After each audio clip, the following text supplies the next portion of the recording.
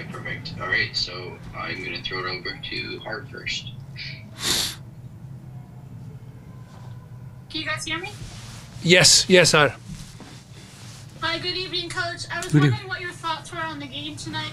It looked quite quite similar to the game we saw against RSL, where you guys were very strong in the first half, and the second half maybe doesn't go your way. So, what were your thoughts on this game? Well, no, maybe the, the same as RSL. Aricel would completely dominate the first half. Here it was, I would say, an even an even game in the first half, an even game in the second half. Uh, I think we had the, same amount of chance. I think it was a game that we could have uh, tied. Uh, unfortunately, we missed a couple of chances in front of the goal. Uh, uh, we considered, uh, especially the second goal, I would say we were a little bit too soft. We were in numerical superiority, and they broke us centrally to free the space for the for the player on the side.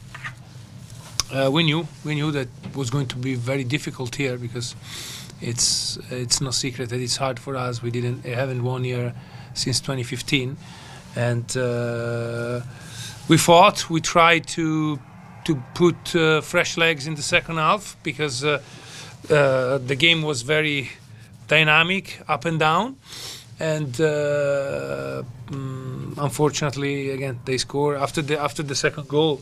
We had two big chances. One with Javain that basically Sergio saved the saved the the ball because if not, it would have been a goal. And then the great save by the keeper against uh, against Rusty. I think that uh, we deserve to tie, but uh, it looks like um, uh, you know we need to be better because you know if we deserve to win last time and we lost, if we deserve to tie today and we lost, uh, it uh, they say three three coincidence make a clue. I think that let's make it two and and uh, and stop it and start making points from Wednesday.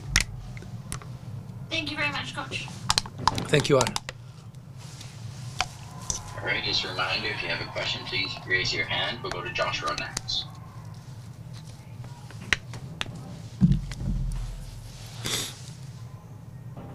Hi, Vanni. I just wanted to ask you about your substitutions and what was the reasoning to take off Julian, and why didn't you change any of the fullbacks like you did last week against RSL?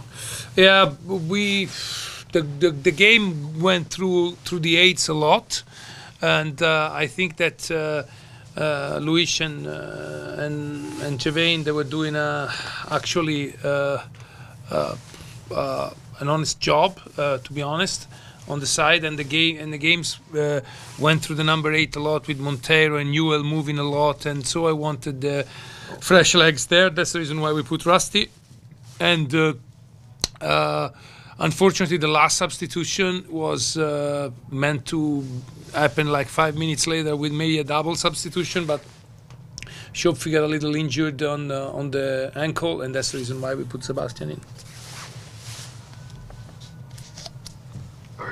All right, thanks, Thank you. All right, thank you. We'll go to Michael McCall, please. Hey, Vanni. Um, I just kind of wanted to look ahead to Wednesday. I know this is maybe not the, the ideal time, but I didn't get a chance to speak Yeah. to you before our show comes out. So, taking this into Wednesday, obviously, yeah, we had been looking to get the team off to a fast start. It hasn't quite happened. No. Is Wednesday one of those games where you can try and shake some things off? How much importance do you put on this game now, having lost these first two games? Well, the importance was enormous, even if we were win, if we won these two games, but uh, especially now because we lost, uh, getting, uh, I would say, change of pace and and and play better. Uh, it's uh, it's fundamental, and uh, you know, it's a different game in the sense that we need to think.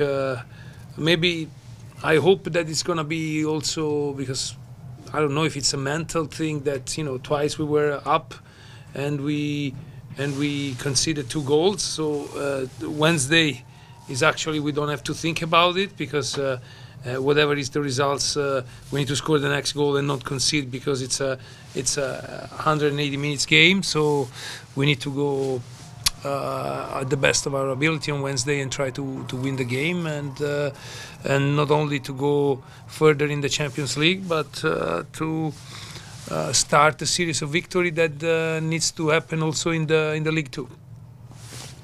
What are you expecting from Real España? Looking at how they played in the CONCACAF League to get here, Yeah. they were unbeaten uh, in all their away games. I, I expecting a team that's going to come and bunker because that has been the kind of teams that you've struggled to break down over the years. I think so. I think so that uh, it's going to be a team that is going to play with a low, low, low body center. So uh, I don't want to say park the bus, but uh, let's wait for us. And then they have very fast, technical. mm, I would say, you know, uh, typical Central American, South American players in, in at top that can be very uh, dangerous in counterattack. So uh, we need to be uh, better than we've been in the in these two games, uh, capitalizing the chances because you know today too we had the goal, two great chances in the first half, two enormous chances in the second half, and getting away scoring only one goal is what kills us.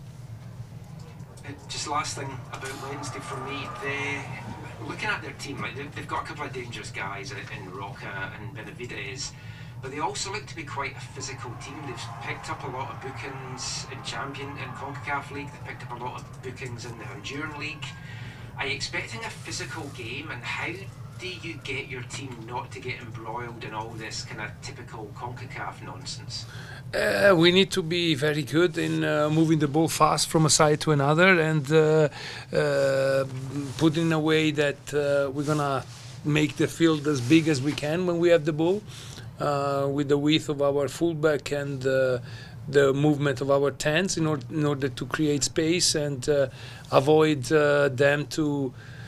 Mm, let's say make the game like uh, as you said before like a kind of a brawl where it's really hard to play in between the lines. So that's uh, what we need to do.